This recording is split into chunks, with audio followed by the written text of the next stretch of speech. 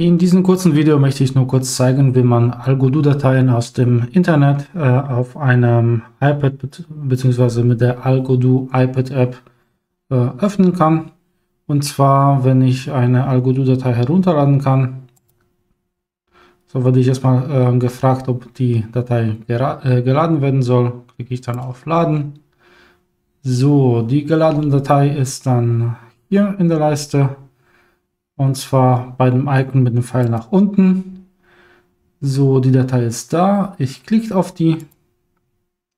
Und um die zu öffnen, muss ich jetzt hier auf, hier, äh, ich glaube, Teilen heißt dieser Button, einmal draufklicken, Algodo auswählen und die Datei wurde geladen.